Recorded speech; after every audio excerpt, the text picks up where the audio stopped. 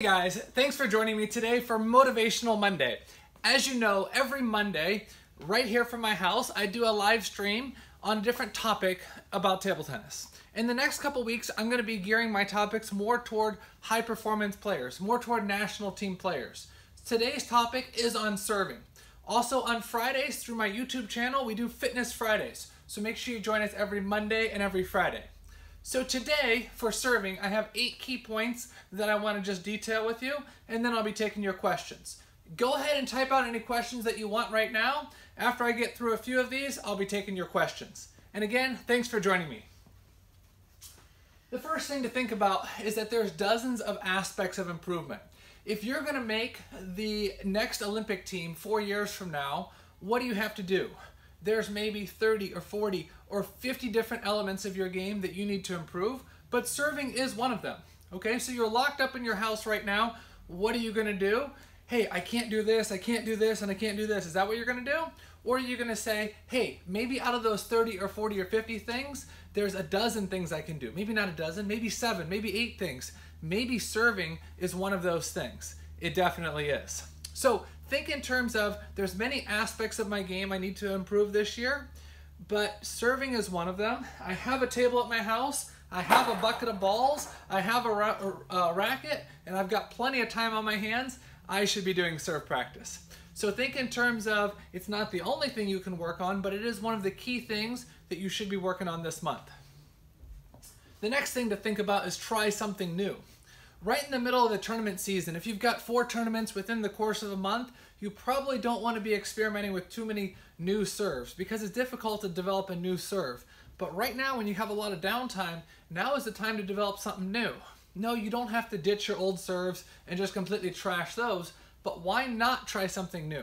Okay, you've traditionally just served forehand pendulum. Why not add hook serve, or reverse, or even backhand serve? Also, in terms of trying something new, instead of just serving from here, why not serve from the middle or why not serve from there? See, traditionally, right-handed players would serve more from this side, so that way they could play a forehand on the next ball. As the game becomes more backhand dominant and people start using more backhands, especially over the table, it doesn't necessarily make sense to serve from here, run to the middle, and then play backhand from there. So now a lot of players are serving from here or from here that might be something that you could try. So maybe it's not completely a brand new serve, maybe it's a new version of your current serve. Point number three is tune up the usual. Okay, so don't completely ditch your main serves and just work on brand new serves. Every one of your serves still takes some practice. Uh, Michael Maze, he was in an interview one time and he said, every day I work on each of my serves 20 serves. So he may be working on something new, but he may serve this serve and this serve and this serve and this serve and this serve. If you've got five main serves that he does, every day he does 20 of each of them. Why is that? Because every serve needs continual work to keep the same momentum and to continue building. So while you're trying to develop new serves this season, also make sure that you continue to work on your current serves. Make sure that your current serves are good serves. So let's say, for example, um, your current serve is 2400 level, all right? And then you're working on a brand new serve that's completely underdeveloped, and you work on that brand new serve for two months now. And somehow you amazingly get your brand new serve up to 2400, but you haven't worked on your current serve, so your current serve is now down to 2200. You haven't really made any progress. You've added another serve, your current serves are worse, so it doesn't really help anything. We just finished point number three. If you just joined us and you have any questions about serve, make sure you type it in. As soon as I get through these eight points, I'll be ready to answer your questions, okay? So now we're on point number four. Think in terms of how the serve sequences together with your game. Are you a chopper? Are you a looper? Are you a pips player? Do you like to play close to the table, mid-distance? Is your game revolved more around slow control spin? Maybe it revolved around blocking. Are you looking for controlled counter loops from off the table? Are you looking for off the table, uh, right off the bounce counter loops? What is your style and does your serve sequence with your game? Your coach would be a great one to ask as far as that question and also do some homework on your own. try to find three or four or five world-class players that play a similar style to you and see how they set up points. I honestly think in table tennis, this is one of the main missing points that people have, is that they've got all these isolated skills, but none of the skills like sync together. So you say, how can I learn to sync it together? The easiest way is to serve serves that are relevant for your style. So I'm not going to tell you, I could go into a three hour lecture right now with which serves fit which styles better, but I'm not going to tell you that right now, but I'm going to give you that as a homework assignment. Go home and write out about your game. Write out how do you prefer to third ball attack? Do you prefer to third ball attack this way or this way or this way? And what serve set that up? Then try to find three or four or five world class players that play similar style and ask yourself, how do they serve? How do they set up points? Like I said, having isolated skills without being able to link them together is really going to be an incomplete game for you. So, think about the sequence. Don't just think about the serve, think about how that shot mixes with the rest. Okay? As in point number 4 with the sequence, you can also think in terms of getting ready. So, you've got your bucket of balls and you serve and you serve and you serve and you haven't moved an inch for two hours when you're serving. Is that thinking about the sequence? Why not serve and get back ready in your ready position? Or serve, get back ready in your ready position, and then make a shot for the next ball. Make a shadow stroke, okay? Because like I said, it's not just the serve, it's what comes after the serve. Personally, some of the best times that my serve worked well was not when it was super spinny or super flashy, but it was when my attack after the serve was good that forced them to make more mistakes because they had to try to receive more precisely. So I have to re-emphasize number four, think about the sequence of the game and not just the serve. Number five is think about the contact point on your racket. Where should the ball hit on your racket? For me personally, when I'm doing pendulum serve, I try to hit right up in here a little bit right here, and then I hit. If I'm gonna do reverse pendulum serve, I usually hit right in here. If I'm gonna do hook serve, I usually hit right in here. So everybody has a little bit different contact point that they feel is preferable for them. So what do you what you need to do is spend some time figuring out where you can get the most spin, where you can get the most control. It's usually the furthest from the axis point. So if I'm doing this, I feel my axis point is down here. So I'm going to contact the ball there. Okay, but do a little bit of experimenting on your own. You have plenty of time. You're on lockdown, you're staying at home, probably watching Cartoon Network seven hours a day. You have plenty of time at home. So experiment with different contact points and see what works best for you. Once you find the contact point that works best for you, how do you isolate that particular spot? This is one thing that I've been working on with my students recently, is developing a good system for being able to hit the correct spot. So what I would recommend is take some tape, not tape that leaves like residue, but uh, maybe something like uh, scotch tape, and tape off the zone that you don't want to hit.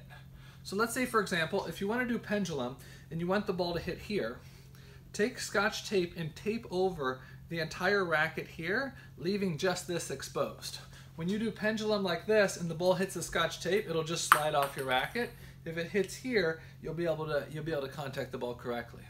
A lot of people think that they're hitting the ball in the right spot, but they're actually hitting in the incorrect spot. So the tape is a good way to do it. Um, if you don't want to use tape, or for some reason you don't have tape in your house, and you can't order it from Amazon, I would recommend breaking out a new ball. If you have new rubber and a new ball, the powder from the ball will leave a mark, and you'll be able to test where your ball is hitting. All right, so we just talked about contact point. The next is controlling the bounce. Did you know that by far the number one reason people miss serves into the net is an incorrect bounce on their side? So every single time that you serve, before you serve, you should have a picture in your mind of what your serve is going to look like, and you should also be able to control the bounce. So if my serve, if I serve into the net, I should be able to clearly say, oh, I served into the net, because I hit too far up here and the ball didn't have enough time to rise.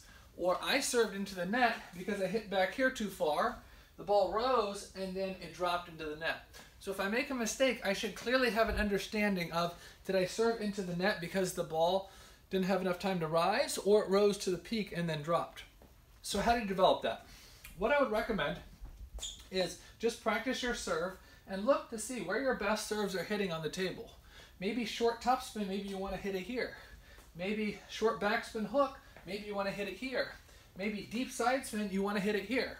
So each person's a little bit different. So instead of tell, me telling you, you have to hit here, you have to hit here, just do a little test on your own. Uh, take some coins, maybe quarter size coins, or maybe lids from like a water bottle, and put those targets down on the table. Serve for a week with those targets down so you can picture it. Then remove the targets and practice for another week just picturing the targets in your mind. Most people, like I said, they're missing serves because of an incorrect bounce on their side. The next thing is controlling the height. A lot of people think about developing a flashy serve with a lot of spin. A lot of people want to have some flashy variations, which is good, it's not bad, but controlling the height is a big thing. Uh, in the coming weeks, I'm going to be demonstrating on one of my products. It's called TT Serve. And TT Serve is a transparent retractable screen that actually goes over the table like this so you can learn on your serve to keep the ball low. It's available for sale on my website if you'd like to get it. Um, if not, at least watch the instructional videos about TT Serve and try to get that concept in your head. Try to make sure that the entire trajectory of your serve is low and not just the point at which it hits the net. Some serves are low when it crosses the net, but it's high on the other side. So you want your entire trajectory of your serve to be low. I actually talked to Sharath Kamal about this uh, in person, about being able to serve low, and it's true. Basically, almost every serve you want low, but there are some exceptions.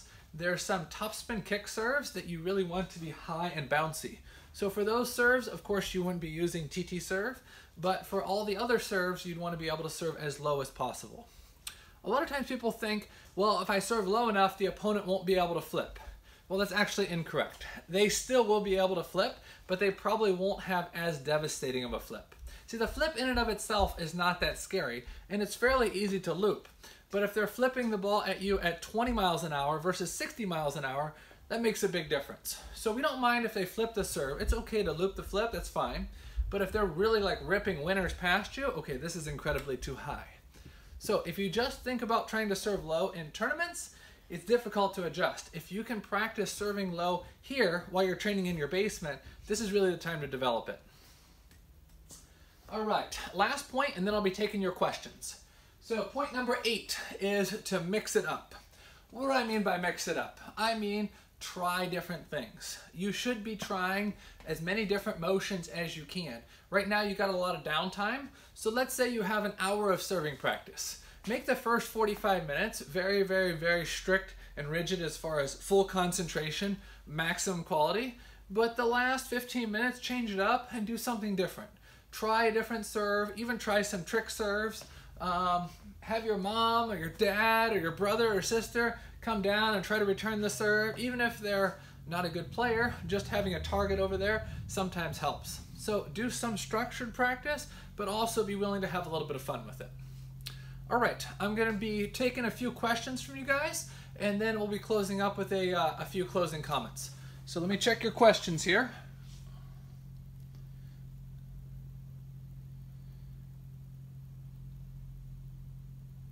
All right, still reading. If you guys have any other questions, you can ask. All right, so far it looks like no questions have been submitted. So I'm going to wrap up with a few closing comments and then I'll check the screen again to see if anybody has any questions in regards to the serving. Before I wrap up with a few questions, I do have to let you know that this is just really the tip of the iceberg as far as what's out there for serving. I recently posted 11 serving videos on my website as well as 11 tips that you can use to improve your serve. So make sure you check out my website, samsondubina.com. And also, I wanted to let you know one of the reasons I'm doing Motivational Monday and Fitness Friday is just to give back to the table tennis community. You guys have been so good with helping me with the GoFundMe. Uh, as of last night, we just hit the $10,000 mark, and we have about 11 more days to reach our goal of 18,000. So thank you so much uh, for donating. Um, in conclusion, I'm just going to wrap up with a few closing comments. Most people think of serve practice as being boring. They want to go down there and serve just to get it done with for the day. It's actually quite intriguing when you think about the intricacies of what all there is with serving. The finger positions. What how can I change up and hold the racket with different finger positions? Which finger should be applying pressure? How much tension should I have in the wrist and the shoulder? How can I throw my body into it by transferring my weight to get more quality on the ball? How can I make the ball do different things? How can I serve lateral side spin and make the ball go straight with a lot of spin? How can I serve deviation spin and make it go off the side? So once you start thinking about more about the details, it actually makes it much more interesting on your serves. The other thing that I do, and one of my students, Sarah Jalli, does quite a bit, is sets up a tripod on the other side, and every two or three minutes during serves, goes over there and scrolls back through and re-watches the video. If you have the video camera right there, as in your server, uh, serve returner's perspective, as you serve different motions, you can test to see how deceptive your motion looks. So I think that's another way to make it more interesting, is every couple minutes, go over there and, excuse me, coach yourself. Do a video analysis of your own serve and see, hey, does my side spin look similar to my top spin? Can I make my backspin serve look like topspin or my topspin serve look like backspin? Another thing that you need to be able to do well is take your time.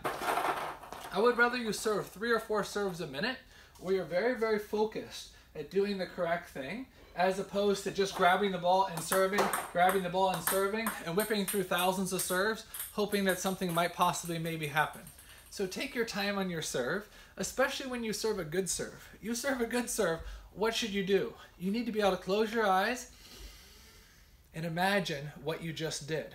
Imagine how you stood there in your ready position to serve. Imagine what your grip pressure was like. Imagine how high you tossed the ball. Imagine how you turned your body. Imagine how you shift your weight. Imagine what the contact point felt like. Was there vibration? Was there not vibration? Imagine where you hit on the racket. Imagine where the ball hit on your side of the table. Imagine how the ball crossed the net. Imagine how the ball reacted when it hit the other side the more of your senses that you can use, the easier it is to bring out that same serve again. That amazing serve that you did should not be a once in a lifetime serve, it should be repeatable. How are you going to get yourself to repeat it if you can't remember what you just did? Okay? So you should be able to actually see the toss. You should be able to see the contact. You should be able to see how the ball crosses. You should be able to feel how it feels as far as the vibration when it hits. And you should also be able to hear the sound when it hits. So the more of your senses you're able to use, the more you're going to be able to repeat it. A lot of players and a lot of coaches say, you got to remember what not to do. Well, you have to remember what to do. I saw a saying on Facebook. It said, um, it said, I, I don't lose. I either win or I learn. Okay? And I, I agree with that statement, but I also dis- disagree with it. Because it's like I either win or I learn has to be two separate things. And I think you can learn as much from winning as you can from losing. A lot of times people are like, well, you're going to learn because you lost. Well, you should also learn from the win, and that applies to serving as well. So if you make a good serve, you should be able to go over to the dry erase board and write down 10 aspects of why that serve was good. If you just tell your coach, yeah, that was a good serve, good is one of the most non-specific words in the English language. It doesn't really tell the coach much. But if you can describe with 10 or 15 bullet points why that serve was good, guess what? Now it's repeatable. All right, I'm gonna go and check my phone and see if we've got any questions, and then we're gonna wrap up for the day. All right, we got a few questions coming in. Thank you guys. All right, so John says, on the reverse pendulum serve, shouldn't the contact be in front and not on the back? All right, let me see if we clarify that a little bit. On all the other serve variations, you are dragging the ball on the long path of the racket. When you contact the ball on the back for the reverse pendulum, it's shorter. Yes, good question, John. So for reverse pendulum, I'm going to actually serve as if I'm facing you. It should actually hit here. So sorry if it was a misquote earlier. It should be here with the long part of the racket following behind. Okay, pendulum, I'm going to be hitting here with the long part of the racket falling behind, and hook, I'm going to be hitting here with the long part of the racket falling behind. So hook serve, I'm hitting more here, pendulum, I'm hitting more here, and reverse, I'm hitting more here. Great question, John. I love the question. John is a top fan of the Samson Dubina Table Tennis Academy, as you can see on his profile. All right, we got another question that came in from Eddie.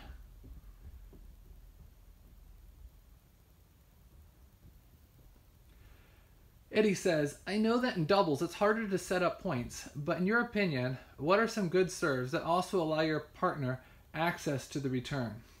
So that's a great question, Eddie. And sometimes also in doubles, instead of the server signaling, it's actually the, the partner of the server that sometimes signals.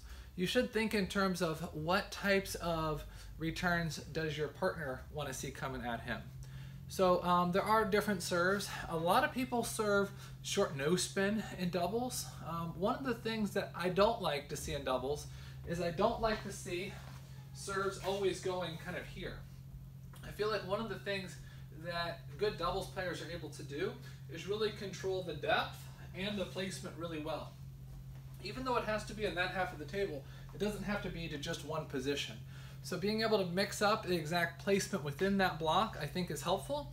And if I'm serving, oftentimes it's going to be up to my partner to call out the serve depending on what type of ball he wants. Depending on if he wants me to serve half long, let them spin up and then go for the counter loop. Depending on if he wants me to serve short no spin or short top spin, asking the opponent to flip or serve half long heavy backspin or very short heavy backspin.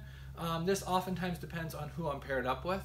And I really think that if US is going to medal in the Olympics, I think one of the biggest things is can we play well in mixed doubles? Mixed doubles is the easiest event to get a medal in, and not that many people are training in doubles. So that's one of my biggest uh, passions about the Samson Dubina Table Tennis Academy in the future is really training the players to play in doubles. Uh, doubles has a lot more up potential than singles does. There's a lot of people training singles, millions of people playing singles but not as many people are seriously training in doubles.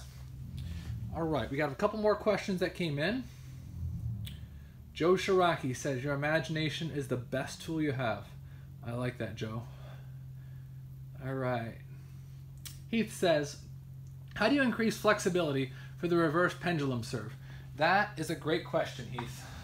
Um, it comes from practice, but also uh, training partner or whatever can help stretch it out. So you're right. For the reverse pendulum, the arm does have to be quite flexible like this.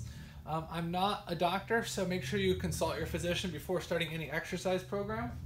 But if you actually hold onto a towel on this side, you can grab the towel. I wish I had a towel here. Uh, let me see if I can get a towel and I'll, I'll show you.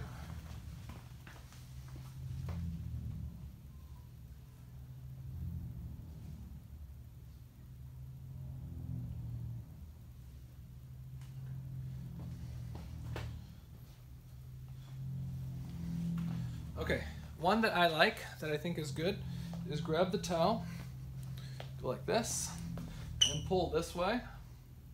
And I feel like that increases the movement to go there. Also, you can hold a towel here, and you can have a training partner or a friend hold it that way and pull gently that way. The more you're able to get your arm back inside your armpit, the more snap you're going to be able to get.